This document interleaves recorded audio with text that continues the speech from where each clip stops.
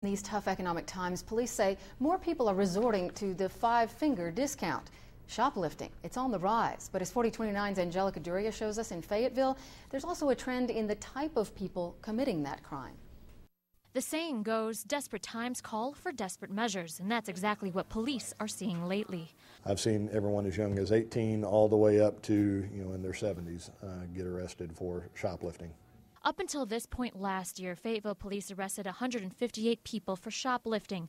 So far this year, it's been 188, an increase of nearly 20%.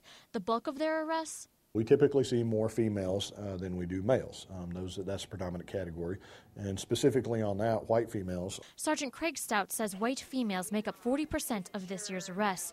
Most of the thefts occur at clothing stores and bigger outlets, but they're even hitting the small shops, like this tobacco outlet on School Avenue. Three days ago, an 18-year-old female walked into this tobacco shop and tried stealing a pack of cigars. Winnie manages the store and says the pack was worth $1.89. That was enough to have her arrested. Our policy is they don't make it out the doors. She's already caught 12 people stealing this year by using cameras and just the naked eye. Watch everybody. I tell my people don't trust nobody that comes in here because the first time they see you're not looking, they're going to take something. The manager here says no matter how small the item, she'll try to do anything she can to not let them get away.